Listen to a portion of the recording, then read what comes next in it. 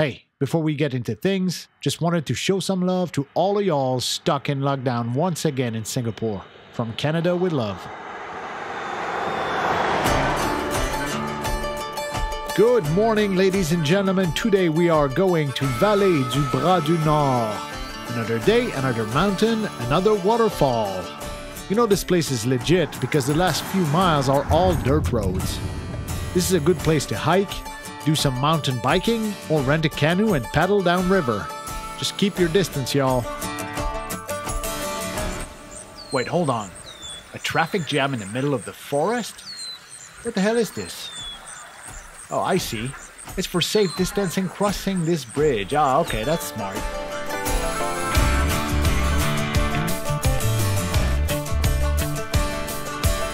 And as much as I relish solo time spent in the forest, today I brought an old friend. This is Alex. Alex, meet the internet. Hey everybody. So we're at the Vallée du Bras du Nord, which in English would translate as, uh, go ahead, give it a try. Uh, But- Valley of the North Arm. So we've never been here, neither of us. So uh, yeah, we're taking the day Let you go ahead. to walk up to some waterfall, which I hope is cool, you know. Kind of a waterfall snob over here. So 13 kilometers to go, and then we have to head back. But this trail actually goes on for days. Today is just recon. Making sure we survive. Yeah, we'll survive. Come on, man. There's no cobras in here. Worst thing is a black bear. Which, honestly, I could probably take on. You shoot for the legs, take him down. How to use Brazilian Jiu Jitsu against a bear. Step 1 Wait for the bear to attack and pass under. Step 2 Take its back. Get a rear naked choke on. Step 3 Squeeze. And there you go. Snap out of it. You died at step 1. No, but actually the, the real trick is, especially in these kind of slopes, you just go downhill. Bears are stupid. They've got shorter front legs than back legs, and they tumble. Don't don't trust that advice. Bears are not stupid. Listen, internet, here's the survival tip for the bear. You just push your friend forward and then take off. That gives you a survivability factor of about 100%. Yeah. Try to push the one that has the most meat. well, yeah. Ouch. So, whenever you're walking in Canadian forest, especially here in Quebec, you might see these tubes hanging off the trees, and you might wonder, what the hell is that? Is that a power cable? Is that sewer for squirrels? Nah, man, it's uh, a system to collect the sap from maples. So this stuff all runs downstream and eventually goes to a sugar shack, and uh, they boil it off, and that's how they make maple syrup, people. I bet at least one of you didn't know that. The first few miles of this trek follows the river closely, all the way up and around this small mountain in the background. And I gotta say, it is gorgeous. Spring is in the air, man, and we're in a good mood. Ow! God damn it. Alright, let's see what you got, man. Two! One more. Ah, well.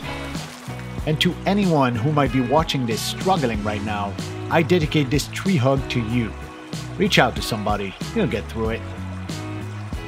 Hard pivot here, but some say that Alex looks like Fred Durst. I don't know, man. You always look more like a young Sean Penn to me. Oscar winner right here. Going on the wall with uh, fake Jake Gyllenhaal. Look at this thing. Like it's it's it's almost paper at this point. feels like cardboard. This is crazy.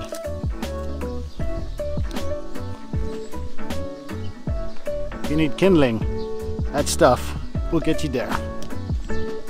It's probably hard to tell with our pandemic dad bods right now, but Alex and I were once wrestlers. Best damn cruiserweight in all of Canada for a time. Ooh, what's this?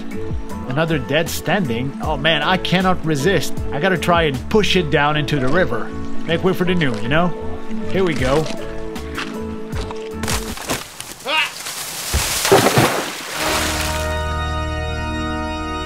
Alright, so sadly Simon had a little accident with a tree. He's kind of dead. So next week on Alex Says, I'll be doing some awesome drone shots of my friends' funerals. Stay tuned. The tree, the tree is dead. I'm fine. Look at that. All the leaves have sprouted. It's gonna be a full canopy up there. Makes a Canadian want to jump for joy. Nearly an hour into this trek now, and the current seems to be quickening. Black Bear? What? Where? Oh, that's how it is, huh? Yeah, you take the lead, you backstabbing son of a... This is a nice trail, man. I like it so far. The river, the birds, the passive aggressive company, it's all great. Finally, we come around the bend and follow a smaller stream uphill until we can lay eyes on her. And man, she does not disappoint.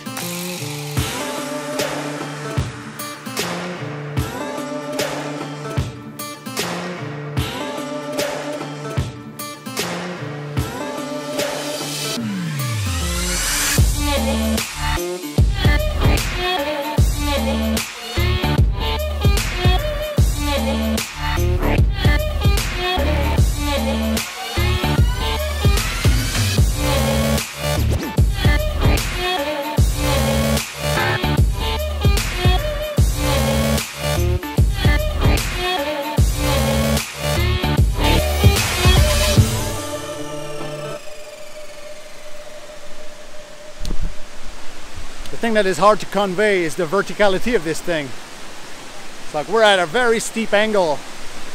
So it looks not that high, but it's actually, well, I'll look it up. Like it's, that's how high it is.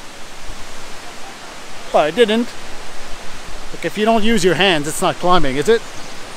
If any pro bono lawyers want to defend me with that argument, friends for life.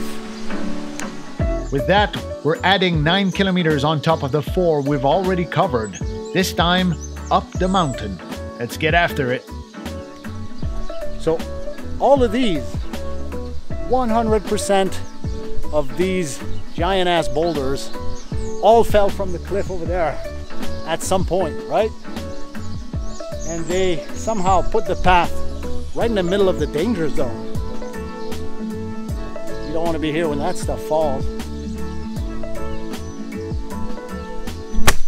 Ooh! There was a step here, damn it. Just hit my shin on it.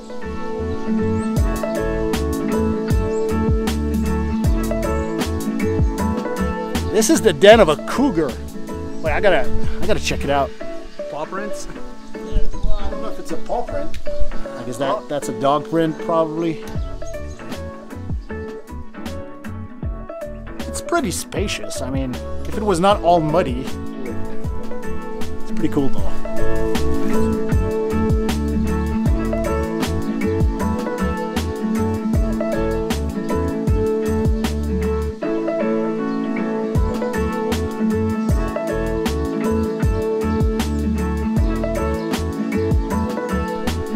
You know how much it costs to do this in 3D for King Kong and other movies like this?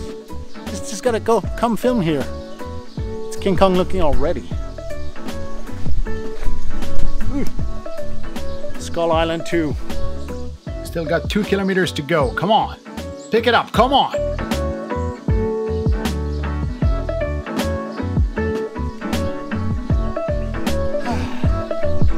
Muddy, wet, disgusting, beautiful. Stop describing my ex.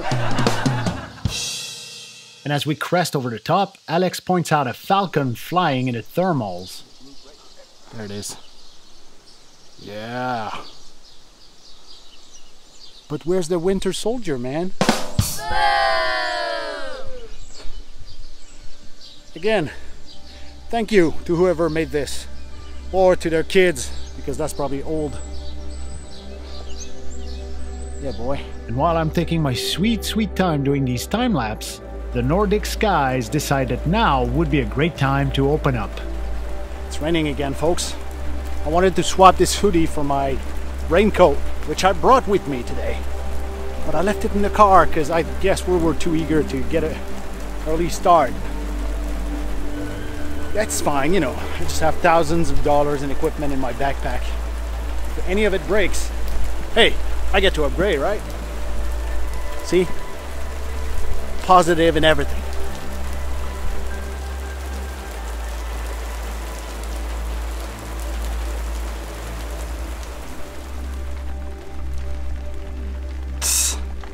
Mine's way cooler now. It is much smaller for sure, but that leather lace, it still holds up. It's not that bad. It's not that bad. Just a little summer drizzle, which is cold as hell. It's all right. Oh yeah, you, you got hair. Cool. It cools us down. Yeah, I don't think I've broken a sweat once since I got back to Canada. I've been sweating since we started. Okay, I think that's it. And we have reached the end of the trail for today. Nice spot to fly the drone, but yeah, Still a little bit of light drizzle though, so you know, I'm kind of wary launching the drone out here. it is a beautiful spot though. Oh, what the hell? You only live once, right? Let's do this thing. Good luck, buddy.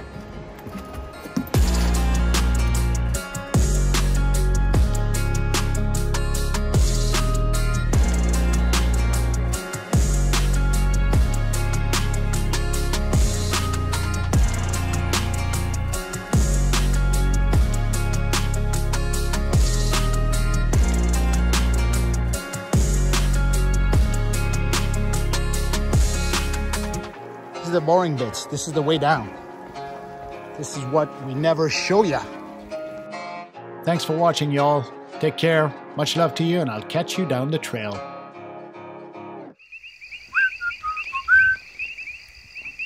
So,